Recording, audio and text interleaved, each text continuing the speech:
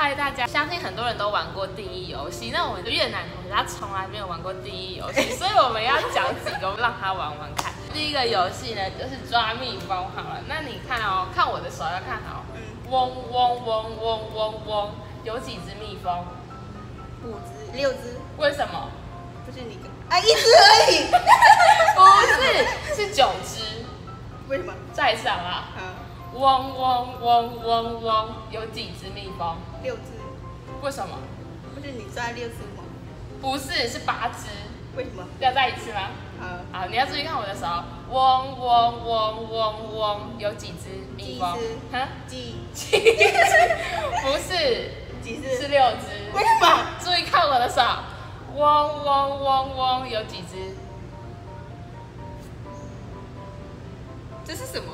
你刚这这是有几只？六只？不是，是三只。为什么？再看一次啊！生气，快点！再来啊，继续啊！嗡嗡嗡嗡嗡，有几只蜜蜂？呃，两只。不是，是一只。好，不要玩了。怎么？你要找出来有一个原因。注意看我的手。好，我再一张。嗡嗡嗡嗡嗡，几只？一只。不是，是五只。不要玩了，不行，你认真看我手。你的手是怎么抓？认真，你要认真看，认真。叫思昂回答。抓抓抓抓抓，嗡嗡嗡，有几只？三只。对。为什么？嗡嗡嗡嗡嗡，有几只？两只。对，两只。那为什么？嗡嗡嗡嗡嗡，有几只？两三只。不是，是三只。那为什么？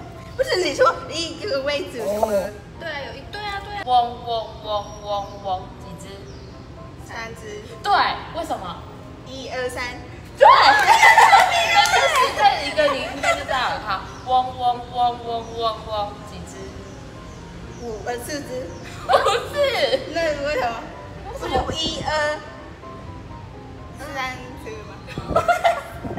再来一次。嗡嗡嗡嗡嗡嗡，九只哦。为什么算出来九只？不是这一三三只